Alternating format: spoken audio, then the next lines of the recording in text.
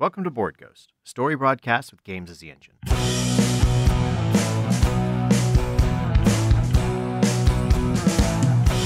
If living is a highway, then heaven is a bus stop.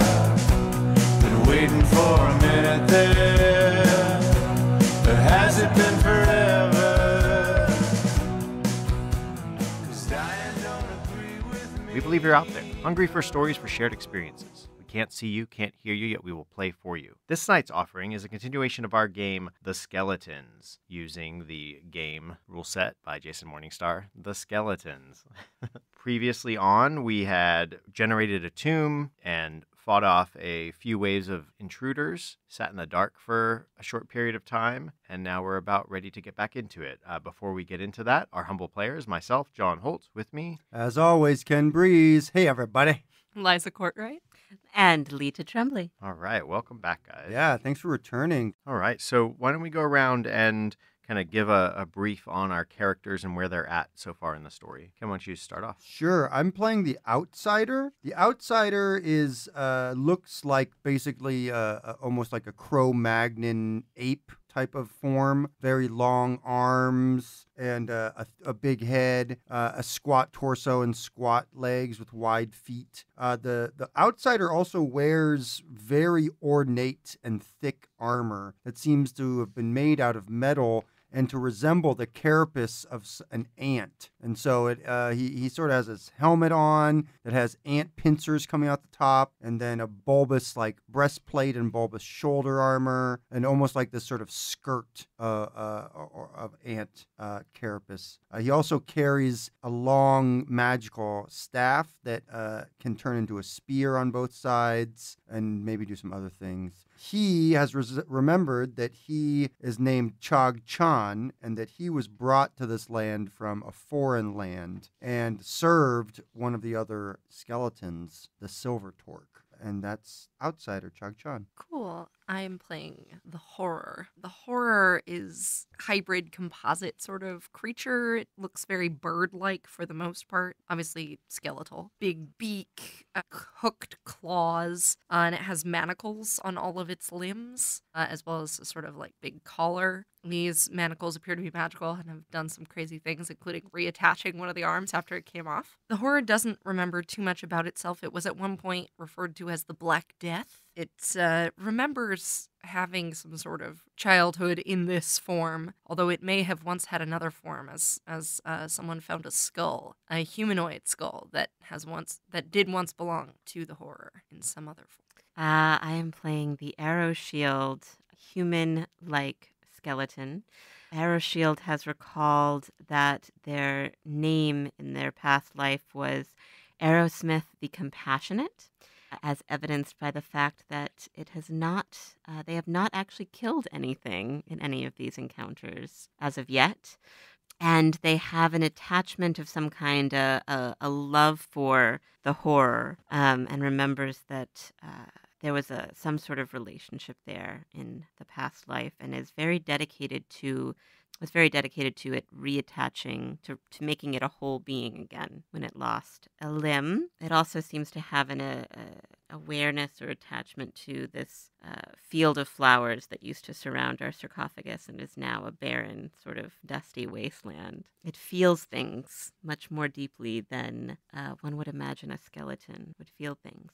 And it carries with it a uh, shield that is speckled with arrows and has a design upon it that seems to resemble a planet of some kind, and a bearded axe with a long handle uh, that's striped with a similar material to the manacles that the horror wears, uh, and a small axe head and a literal beard hanging off of it. Uh, so I am playing the Silver Torc, who is a uh, ske- humanoid skeleton with a, a braided metal uh, adornment about about their neck and collarbone, and uh, rests on their collarbones, and has a now chipped and etched silver sword that is dulled and Yeah, it's really been beat up. Yeah, you snapped the, the blade in half and got Wrote dulled by Mhm. ichor and yeah. etched. Yep. The Silver Torc found a ring that it had recognized and believed that it had belonged to them, and in it was etched the man, a man's name, a man that they believed that they loved, but they don't know that this ring belonged to them now. They they realize that in fact it may belong to whoever resides in the sarcophagus in the center of the tomb. Last time we had just dealt with some intruders, and then we fell into darkness for a month. Right, and so we'll can go back and start from that darkness.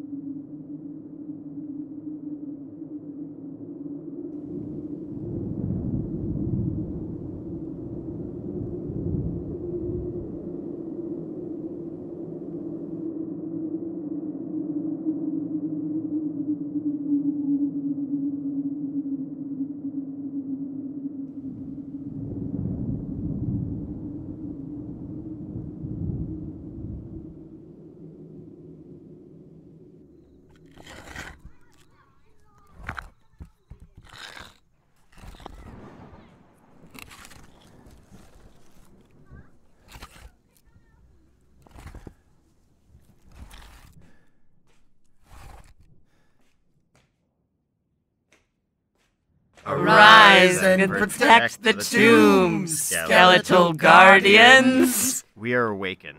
There's a there's a presence. There's a heat in the tomb that we've not felt in a long time, and it's the heat of life and of youth. And we we hear the entrance of the tomb is open, and there's a storm raging outside, whistling through the like cracks in the rock.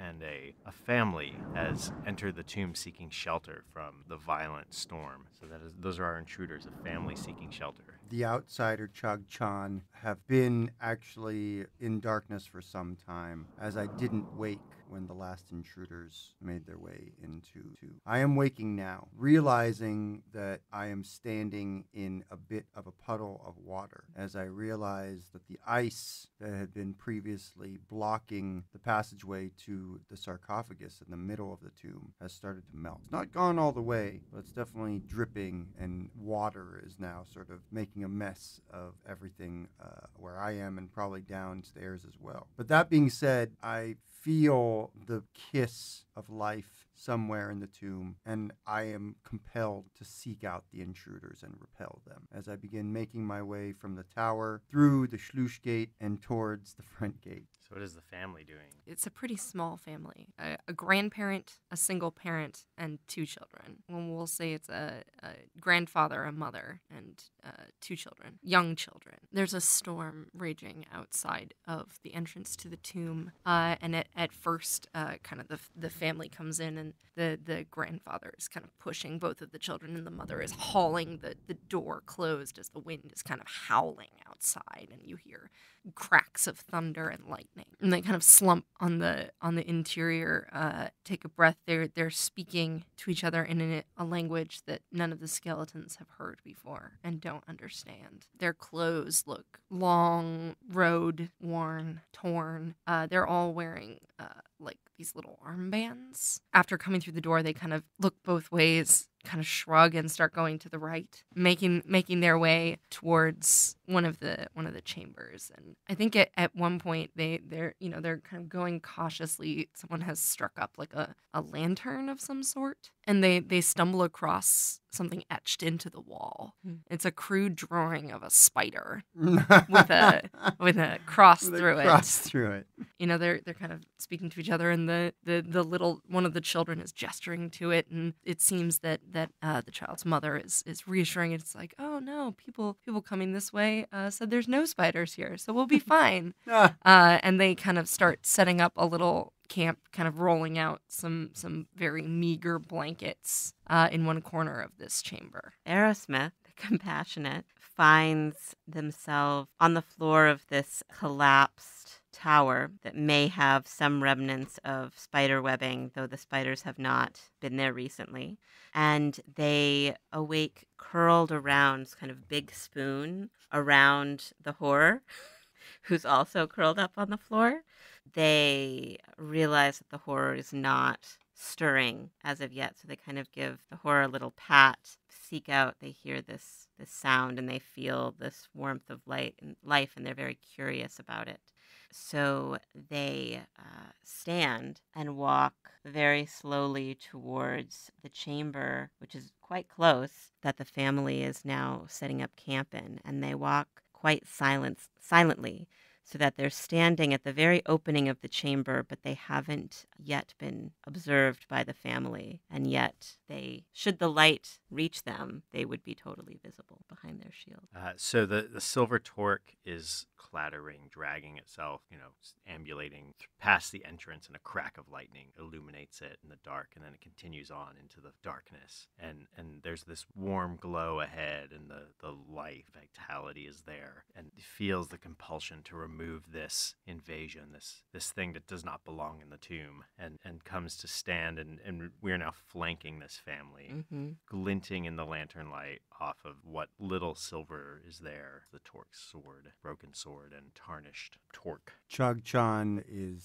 sort of keeping pace with Silver Torc are coming around the bend at the same time. Chog Chan is, is in sort of black armor, though the light glinting off of it, natural life off of water or something like that. And as he's seeing this family, he is realizing that though the language they speak is not something he recognizes, he does recognize the, how their clothes are made and even a symbol that uh, the grandfather has on his back. It is a nationalistic symbol of a country or a nation state that his people were at war with. As he begins to remember Mm. his past and that he was dragged from his people, a captive by Silver Torc and their ilk, and made to serve Silver Torc for his entire life. And not only his life, but was relegated to protecting these people and these things that are not his own, so far away from his own home uh, in his afterlife as well. But he is compelled to as he raises his spear and points it at the mother, going,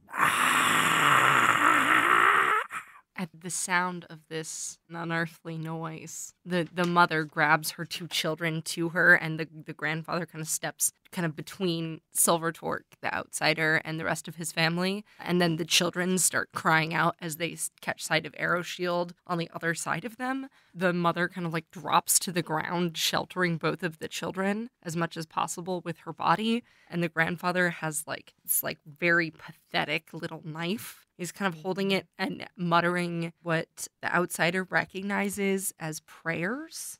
All of you sense the intention of it, but I think that uh, the the prayer is in perhaps a language that was shared amongst your peoples, Mm. maybe an, an older language from the region, and is kind of shaking, holding up this knife, saying these prayers. the The mother is having this realization that it's like nowhere is going to be safe for us. Arrow Shield's Arrowsmith's compulsion to protect the tomb leads them to telepathically say to their skeletal companions, drive them out, drive them out. They begin to walk forward into the compartment in an attempt to drive the family to, literally towards the other two skeletons with the intention of of them going back out the door to which they had come and he sort of holds his arms their arms wide uh, with the shield in one arm and the axe in the other arm becoming as wide as possible and advances upon the family despite the prayer They're, you know, between a rock and a hard place here. Immediate threat is the skeleton moving towards. them. So the grandfather put him like he, he turns, kind of puts himself between Arrow Shield and these guys and is backing. You know, they're they're definitely hemmed in. There's not there's not much room. And Yeah, they're in the antechamber mm-hmm. and trying And to find a way out. they're they're you know the, the the mouth is shutting on them and that's when the grandfather turns to see is, is there any egress you know Any looking hope of escape. looking over the mother's head and recognizes the the pattern on the torc on silver torc and says like eyes go wide and says a name and the mother like ga- the mother gasps like when she says when he says this name but also gasps because a silver sword is jutting out of her chest The mother's chest. Damn you, John! a, a jagged jagged edge Beat me to it. as the children scream I, think that both of our weapons pierce her at the same time, though you obviously uh, pierce her first, as uh, my spear just goes right through her skull. her screams stop as she sort of just is driven to the ground. I say to you, Aerosmith, Telepathically. telepathically, you are always too compassionate. I think he growls back yeah, at you. Yeah. The uh, yeah. Love it. the mother had seen two weapons coming and maneuvered to get in the way. As as your weapons are kind of tied up in her body, the two children like run like kind of like duck and roll like between between between you, between your legs. Probably not between your legs, outsider, because you're very short. But yeah, kind of uh, duck around as the mother is in her dying breath yelling for them to run. After kind of stunnedly muttering this name to himself the old man is like throwing himself towards you with this knife, but he's a frail old man. And yeah, another swing of your sword very easily kind of pulls out of the woman and just catches him up across the throat. It's not a clean cut. And and he repeats the name again as as, as he's dying. So as Aerosmith is is taking this sudden loss of life in and watches the old man suffering and the lifeblood slowly seeping out of them and sort of gurgling these last words, they take their their axe and deliver a swift, solid blow to the to the neck of the old man No! end it quickly and compassionately and looks up from that blow directly um, into the eye sockets of the outsider. There's just sort of a feeling of of re- reproach and Mm. and uh, hostility yeah, we're squaring off a little bit. that uh, it sort of emanates. There's not even any language Yeah, back and forth. It's yeah. just sort of a, a Yeah. hostility. Totally. Mm-hmm. totally. Are the children gone? Or are they Oh, still- they're no? in there. No, yeah, it's your turn then. I did say the door was shut, so they will have to try and open it, I suppose. Uh, Yeah. This this door was shut. Yes. but they've Yeah, they, they managed to got get out past of you the ante- guys. antechamber, so they're sort Yeah. of in They this got past us, hallway. huh? So the Silver Torc, the name is like a little like flame, and it wasn't just a name; it was also an honorific. Mm. and no longer like the quiet like kind of dragging clacking ambulation they just turn and the the lantern is on its side and is giving off less light but they just are are off like kind of pull back into the darkness and are gone and next you see the two boys pulling at the door trying to like open the entrance again and like get a crack again and as they do finally like kind of wedge a little bit there's another lightning flash and torc is standing right behind them Mm. and then it goes dark again Dark. Yeah. Yeah. they're toast I think they're. toast. Oh, yeah. yeah. I so I'll, I will actually answer two names. So the the name of this character of the Silver Torc and the by name earned it life based on their greatest accomplishment. Their name was Unamu Enseer. yeah, it was. And that's the full name. That's the name and the honorific. That's their honorific. Yes, So their um, Umamu is their given name, or Una- Unamu, yeah, yeah, Unamu, Unamu. and their their greatest accomplishment somehow earned them the moniker the Enseer. That's cool. End seer. Very. Do you want to do you want to answer a question? Uh, for- Yeah, I already did. Mine was uh, how did you come to be among these strangers in life and then in death? And I uh, was uh, captured at a young age and made to serve for all time. As Arrow Shield made eye contact or socket contact with the Socket to socket socket contact. to socket Tell me more. contact Ooh. Tell me more. with uh, the outsider, they sort of became aware that that they uh, are all, that the skeleton is is wearing a, a pendant on a long uh, silver uh, chain. I am. I am. You are. I am wearing a pendant on a long silver chain. Yes. Um, is there's something about all of these sort of emotions that have come up that has sort of like brought attention to the the chest. Um, is and the pendant in the shape of a heart? the pendant is is circular. Okay. It is a stone Ooh. that uh, seems almost uh, water-like. You know, in this little light that's left over from this lantern that's tipped over, it almost seems to be moving like water. This pendant, and uh, this is a memento from its past life, and it's something that sort of reminds them of of their purpose and part of the story of why they're called the Compassionate, because Mm. not just a moniker of only killing when necessary, but also absolutely without pause killing when necessary. Ooh, almost like an executioner. Exactly. I'm gonna roll off God laughs. God's laugh. Oh, so one. A skeleton's weapon is broken, bent, or rendered useless. What will they do? Note it on their character sheet. As the light comes up and like what little light filters in through the like cracks and rocks. And Like there's also was a small landslide, so there's it's even more obscured the entrance to the tomb. Yeah. But there's still like a few fingers of light, and you see that these like bodies of these boys or children that were like so like violently stabbed, and there's a the sh- the weapon is shattered where it had been like pierced ah, through them into the rocks, Yeah, yeah. and just pieces of the silver like glint in the light, silver silver broken. Silver broken shards. Yep, you get to roll on time passes. I do. Century. Centuries. Oh my. Yep. Which one should we do? Time hours. Sure. A crack develops, creating an opening for robbers and other vermin. Mm-hmm. Where? Adjust the map. I want to say like here. Like there? little- Sure. Like we're in this tumulus and it's, it's sur- a surface crack. Yeah. I kind of like the idea that uh, that these storms have been racking this place Ooh. now forever for centuries, and so it's almost like an erosion. Like this is almost Mhm. filled in. yeah, Yeah. yeah, There's like an yeah, exactly. But so, like the side of them, whatever Yeah. had covered it, it is like open. Ero- it just uh, the dirt erodes through. Like it was, there's just a weak point that no one really realized when this thing was being built. That was mostly dirt behind there. All Mhm. right, and it so just time. So finally over just- the centuries, and how long is how long are we in the dark in this? Three, Three minutes. Three minutes. Oh my. Centuries. Cool.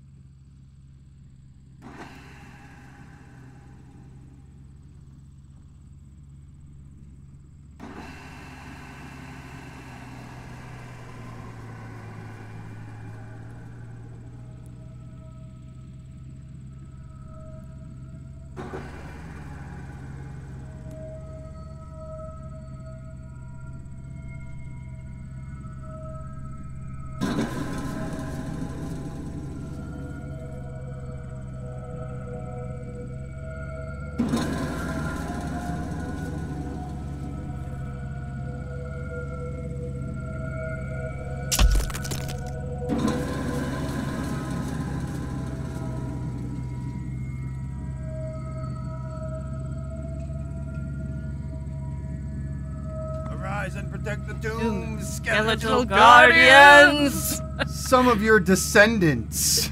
They follow an ancient treasure map penned by your own children. Describe how you see yourself in them. Who among you will be the first to strike them down? Can you even bear it? Everyone answers none, one, or two questions as they prefer. Choose once each on the glory fades and God's laugh table. So we choose on both. Yeah, gonna They're definitely my descendants.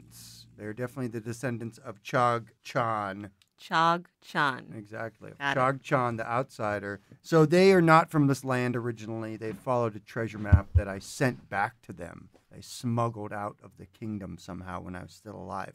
My last and final act of treachery against my captors.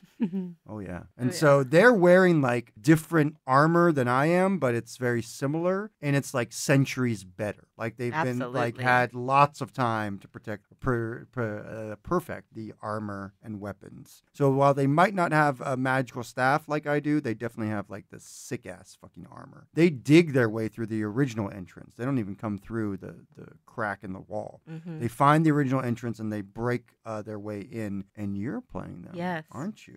So not only is this team of descendants coming through the Oh, the they, entryway, they have the same build that I do, right? Like the Yeah. long arms. Yeah, and centuries isn't legs. quite enough time exactly. for evolution. Exactly. so they are coming through uh, with a machine through Like a digging like machine. a digging machine with a long forearm, the likes of which uh, these skeletal creatures have never seen or heard of before. So the first knowledge of their presence comes with this sort of loud mechanical engine sound and the rock and dirt being uh, torn away from the entrance to the tomb until there is a big gaping hole at the entrance. And through that hole, a team of six outsider like descendants comes through. And yes, they are wearing armor that is sort of a, a shadow of or a cousin of the armor that the outsider wears with much smaller manacle horns and there also seem to be um, buttons and lights Ooh, flashing on this oh. armor and their faces are almost entirely covered. You can really only see their eyes through the helmet, but they have the same stature of uh, outsider. With the breaking through of the entryway, the machine cuts out, and the six of them uh, enter, climb into this entrance passageway, and assess. The silver torc feels this movement and, and is awakened as as these uh, creatures step into the tomb and begins to stir and strain against the cobwebs that coat them Mm-hmm. and that coat the entire passage. Yeah, I mean, well, the, the spiders are are. It's been centuries. Yeah. So yeah, yeah, like there are cobwebs everywhere. Yeah, there's no lack of cobwebs. And so is obscured as they sort of rise up and grasp at the handle that's just a, a nub now of their weapon and pause and, and start to s- sort of sidle back in a way Yeah, because you're right at the entrance. Yeah. Yeah. towards uh, this way, toward like Mhm. kind of scooting back out this way. stationed. Oddly enough, I'm stationed back in the place I was originally before the rats came in Mm-hmm. centuries ago. I've somehow I apparently like this spot. And I see the silver torc backing up towards me as my consciousness is sort of like spreading throughout my limbs and I'm realizing that I can actually move and I, I, I can take control once again of my body and of my mind. I am so old, so tired, don't want to move. I don't want to do the things that I'm impelled to do. But duty, a magical duty, has ensnared and I must act. As I pull free of the cobwebs, and it's almost like my skeletal feet sort of melding with the floor almost, where I'm like, it's Mhm. almost like they're cracks as I'm like pulling my feet out, and I am just sort of stomping forward to get in front of the silver torc, knowing that uh, I served him in life and I serve him in death, though I might not be super happy about it. As I walk by him, I do remember the by name uh, by which I was called, which was Chog Chan the Destroyer. It's been a long time since the horror was awake, and it hasn't been dreaming in that time. It's just not been. So the last thing the horror remembers is making new friends. And it awakens buried in cobweb. Claws snicker snack strain to, to cut its way free of this pile of layer upon layer of somewhat calcified uh, spider webs it actually ends up close to the ceiling after digging itself out and just decides, hey, why not? And starts climbing back uh, towards where it feels life, uh, climbing along the ceiling, trying to avoid more of the, of the stumbles. But you know, there are sections that have caved in as these centuries have passed. So it has to kind of navigate around those. And as it's going through the room where the outsider has just left, there's some lumps on the floor beneath the cobweb. Yeah, that it doesn't recognize. And it keeps crawling, crawling, looking and seeing these from upside down, these strange collection of various insectoid shapes. And it makes it makes the horror think of fam. Hmm. Because they are good adventurers, these descendants have uh, taken a left out of the entrance. And because they are good adventurers, they are all sticking together as well. And because they are young adventurers, they move move rather quickly.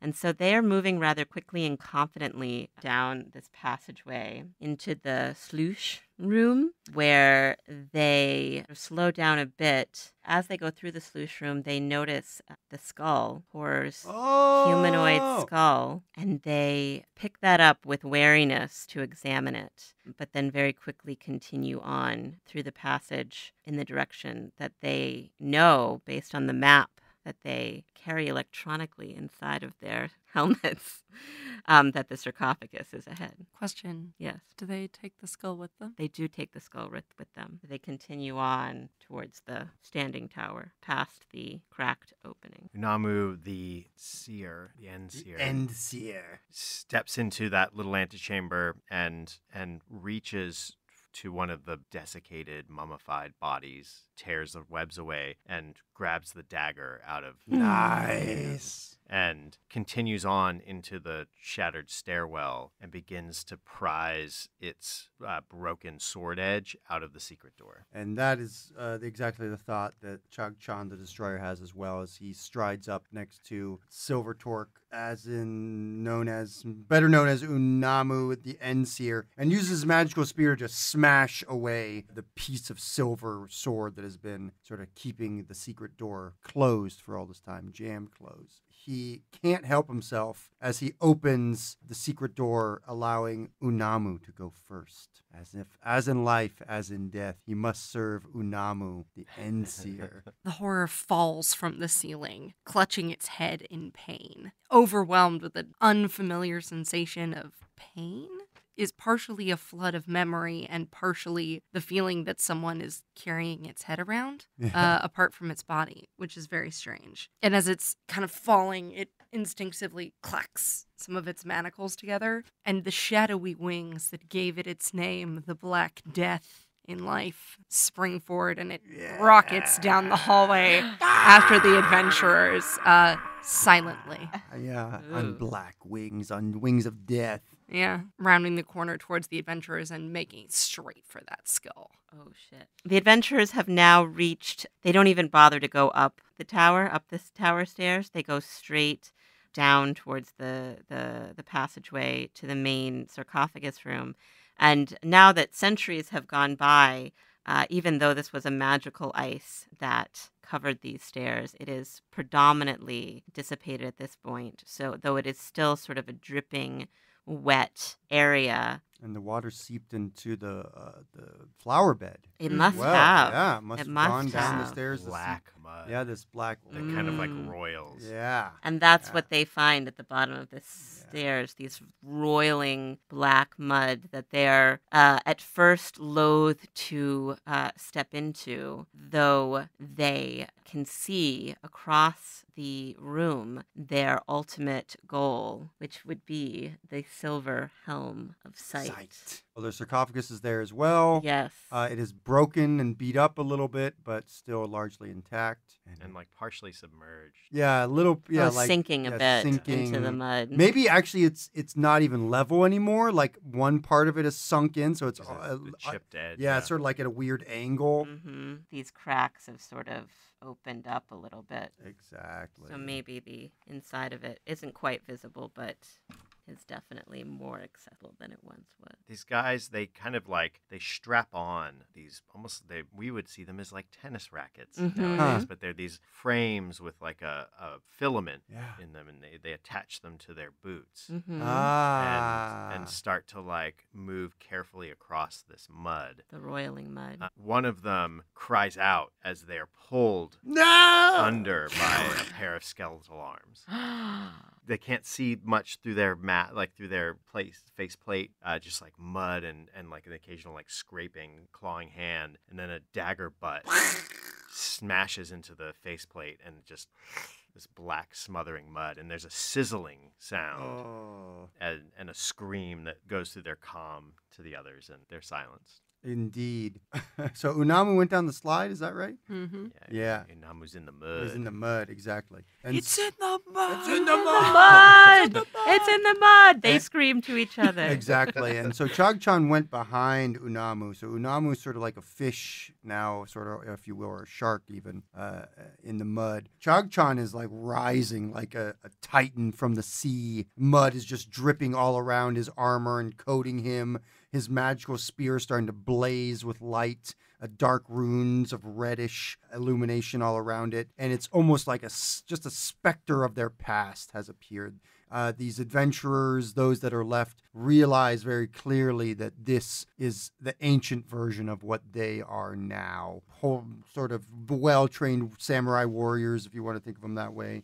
Chog Chan just begins spinning his spear around as he begins fighting with them. They are pulling out like samurai swords, katanas, and different type of weapons like that as they're uh, just fighting him off, and and it's uh, the and battle has been engaged. Chog Chan he he realizes that he has been cursed. He has been cursed to defend the silver helm of sight. That following Unamu is part of the curse, but truly he must protect the helm. And so, doing so uh, causes him to begin to kill his descendants as he slices through one of them, plunging his spear directly into the uh, adventurer's guts uh, as she screams and he throws her away into the mud. into the mud, the roiling mud. Distracted by screaming and an awareness of hidden enemies, the uh, the intruders do not notice a shadowy form slinking across the ceiling above them. The horror drops down onto the sarcophagus and spreads its, its wings. It too has remembered something important. Ooh. that it, it was brought into this place alongside something else. It was it was brought here alongside the helm, also to protect it. It it couldn't have been made what it was without the helm. For the silver helm of seeing lets you see through time. The person who who wielded it made made uh, the horror as as a, a a weapon and a guardian, which it is still. There is notably some some similarity between the, the metallurgy on the on the helm and on the manacles that Mhm. line the horror. There's a, a strong kind of psychic message that goes out to the rest of the skeletons from the horror, trying without a grasp of complex language to indicate the power in the item and how it could be used to. Defeat these uh, future beings, perhaps sort of projecting an. I think the outsider sees an overlay of like their helmet that they wear and the silver hem and like turning into these helmets that these people are wearing. Oh, interesting. Yeah, I think that would be the the best visual metaphor that the horror can come up with. So there are four uh, adventurers remaining, sort of on this path. When they when they entered, they sort of they did split into this room, and and three of them sort of made a beeline directly for the silver helm. And it seems to me that two of those have already been dr- one drawn into the mud, and the second destroyed by the outsider, and the other three, um, and so the third is still sort of making dogged progress towards the silver helm and is just uh, standing just before it. Meanwhile, the other outsiders have sort of come over and around the the sarcophagus itself and have been trying to do battle with the outsider to support their comrade to little effect. And then suddenly they they encounter the horror on top of, of the dais, um, which makes that no longer an accessible surface. But one of the uh, adventurers who has come directly behind the outsider says very loudly in a language that the outsider Knows is very well. familiar with, yes, help us, ancestor, help us right the great wrong. And she speaks loudly and clearly, but very directly to outsider, which sort of, for a moment at least, stops outsider in their tracks. And as that happens, the, the adventurer in front of the silver helm reaches in and touches it. As they this adventurer reaches, they they kind of are pulling the helm towards them, and there's a void in the center of the forehead of this helm, and you know they're they're cradling it. They're about to like you know encase it, put it in a bag or something, and that's when a pair of arms wrap around them and start pulling them down into the mud, and they're struggling. Their their arms aren't free. It's hard for them to do it, and the and the mud pulling as much as the as the skeleton is pulling them down. Chog Chan the Destroyer is faced with his ancestors. They're crying out for his help, but he is compelled by more powerful magic than they their voices. The best he can do is back off from fighting them. Uh, he doesn't help them, but he's not attacking them. But I think the woman adventurer who was yelling to him, her voice as she sees what's going on takes on a, a more of an urgency and more of a ritualistic candor Mm-hmm. and she begins shouting and incantations and prayers as well. But unlike the feeble old man who we'd met before, her voice has power, and light begins to shine from her as we undead are, are given some bad news by that, I guess. Chog Chan specifically, since he's right there. He's raising up his spear to ward off this energy, even as his sort of skeletal bone is disintegrated. It's like sort of sloughing off. And so it looks like pockmarked, his face does, his arms, his feet, as he's just sort of almost disintegrating uh, in the face of The horror was midair as this blast of energy goes out, and also like the the energy that's sustaining it as wings kind of starts faltering, and it begins to fall uh, towards the area where the helm and the the the adventurer with the helm and where the silver torc Unamu the Enseer. Unama the Enseer, as his friends call him, uh, uh, where where they're struggling in the mud, and I think the uh, horror does not have the armor to protect it, uh, and just starts falling apart from this uh, blast of light. And its head, with the collar and the manacle, kind of go rolling towards where this struggle is taking place. And the adventurer sees out of the corner of their eye that this like void in the center of the helm is the same shape as the little tag on the horror's collar. Ooh. And don't forget the circle that Aerosmith is wearing as well. The adventurer being pulled into the mud fears that there will be no surviving this encounter. It throws the silver helm across the dais with the sarcophagus towards its fellow adventurer, not the woman speaking the incantations at the head of the dais, but they sort of imagine that outsider has been somewhere in here doing battle That's right. to one of the two other adventurers on the other side. And as the helm goes over the sarcophagus, sort of it it sort of takes on this this light energy that is happening and the sarcophagus splits and the adventurer catches the helm in their arms. Meanwhile the final adventurer has has noticed this collar and is and is seeking out um, trying to find a way to to get to horror probably running across the the sarcophagus as it's splitting open. So basically what's happening is the helm is flying over in this direction and one of the adventurers is sort of running across the top of it in this direction to trying to head off horror. And uh, and strangely none of them are coming to the aid of their floundering friend and meanwhile the woman who is clearly the leader continues her her incantations in her strong powerful voice and the adventurer catches the helm Silver Torc is struggling and they're they're disintegrating in this light. It's filling this room. It's blinding. The the mud is roiling and reacting and like pulling away from the light as well. So it's almost part of the room is clearing under these people. They kind of like fall to the ground. And in the struggle, the torc itself is pulled away No. and actual like adornment and the silver torc just explodes. Ah. And shards of like fractured bone Are like shrapnel everywhere. shrapnel and and shred most it, with the exception uh like as this guy's leaping over this thing just whoosh, shreds him mm-hmm. shreds the guy that he was tuff- tussling with and And the, the guy woman- yells the out, woman chin- Bogchan,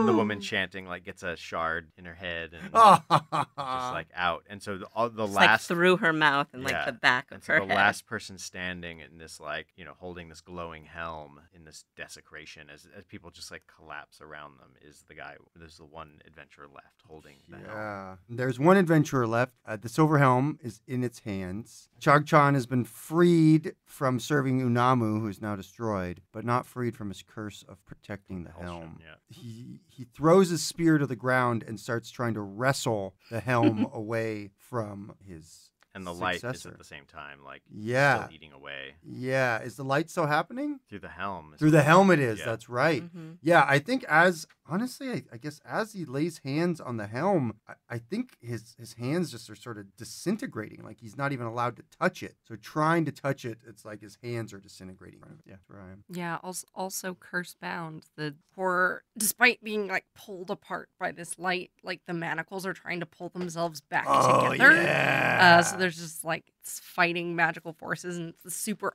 uh, terrible jerky motion across the room. And I think as the adventurers like moving the helm out of the way, like of your grasping hands, uh, it just like clocks the horror kind of like in the head with it. Just for this really brief moment, the collar manacle and the helm touch. And there's just this sort of like weird like burst of energy. You know those like time lapse videos of someone's like skeleton, muscle, nervous skin system like growing and fading. Mhm. You've seen those? Yeah. Mhm. Mhm. It's like that. And for a second, there's just a kid.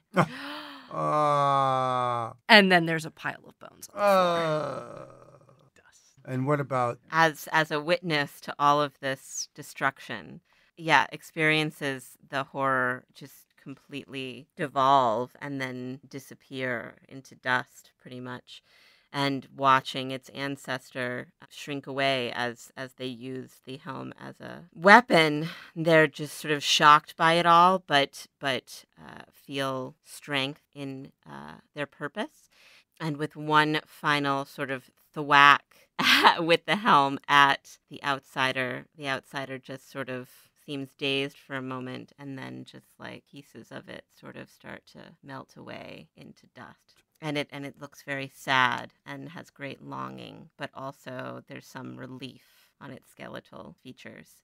And the adventurer takes the the collar and connect and it's now con- been connected to the helm. Oh, and sort of as these skeletons sort of have drifted away the it sort of becomes normal again. That energy sort of starts to dissipate and come back into the helm mm. which still feels very powerful.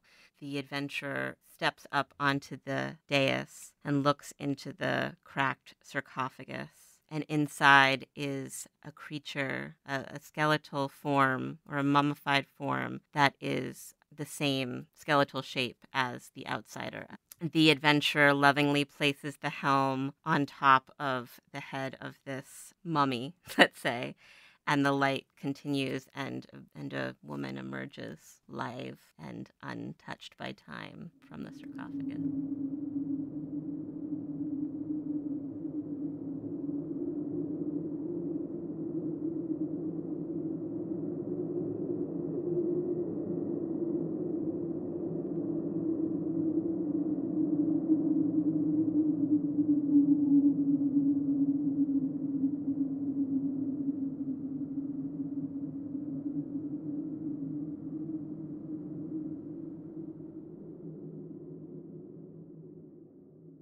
That, our story ends. We will return again with a new tale to spin to dare to entertain.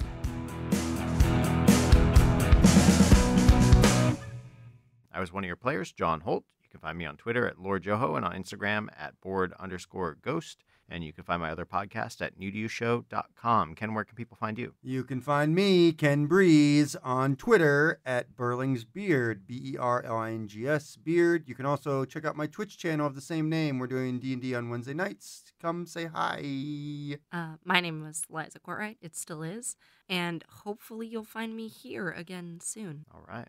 And I'm Leta Tremblay, and you can find me at my website, letatremblay.com. That's L E T A T R E M B L A Y.com. Uh, or at Leta Tremblay on all of the social medias. And my theater company is Caps Lock Theater. That's theater with an R E. All right. Thanks for playing. Yeah, guys. It was thank you guys. This you is out. awesome.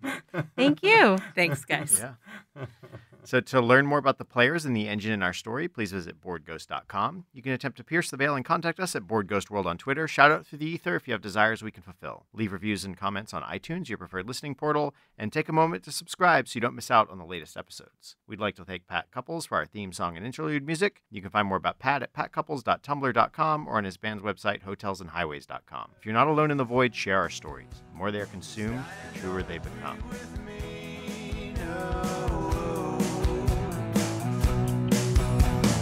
Agree with me.